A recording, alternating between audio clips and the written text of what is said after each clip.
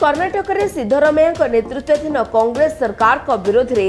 ଦିଲ୍ଲୀ ଏବଂ ବେଙ୍ଗାଲୁରୁ ସମେତ ବିଭିନ୍ନ ସ୍ଥାନରେ ବିଜେପି ବିରୋଧ ପ୍ରଦର୍ଶନ କରିଛି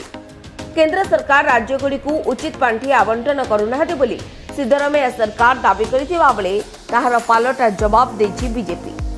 ସିଦ୍ଧରମେୟା ଏବଂ ତାଙ୍କ ସରକାରଙ୍କ ବିରୋଧରେ ସ୍ଲୋଗାନ ଦେଇ ବିଜେପି ନେତାମାନେ ଅଭିଯୋଗ କରିଛନ୍ତି ଯେ কংগ্রেস কেন্দ্রীয় পাণ্ঠির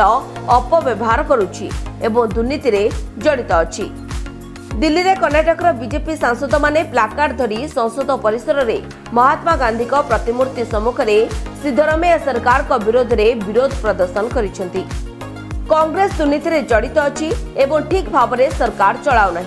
আভ্যন্তরীণ বিবাদ কারণর সেমানে এঠাকু আসিছেন ডিকে শিবকুমার মুখ্যমন্ত্রী হওয়া চাহুলে কিন্তু তাহা হয়ে পারা না ଆଭ୍ୟନ୍ତରୀଣ ବିବାଦ ହେତୁ ସେମାନେ ଏଠାକୁ ଆସିଛନ୍ତି ବୋଲି ବିଜେପି ସାଂସଦ ଲେହର ସିଂ କହିଛନ୍ତି ଯନ୍ତର ମନ୍ତରରେ କେନ୍ଦ୍ର ବିରୋଧରେ କଂଗ୍ରେସର ବିରୋଧକୁ ନେଇ କେନ୍ଦ୍ରମନ୍ତ୍ରୀ ଗିରିରାଜ ସିଂ ଦାବି କରିଛନ୍ତି ଯେ କର୍ଣ୍ଣାଟକ ସରକାର ଏକ ମିଥ୍ୟାବାଦୀ ସରକାର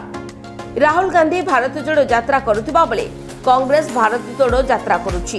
ଏପଟେ ବେଙ୍ଗାଲୁରୁରେ ବିଜେପି ସାରା ସହରରେ ରାଲି କରି ରାଜ୍ୟକୁ ଅର୍ଥ ଆବଣ୍ଟନ ନେଇ କଂଗ୍ରେସ ସରକାରଙ୍କ ବିରୋଧରେ ବିକ୍ଷୋଭ କରୁଛି Bureau Report, Mobile News 24/7.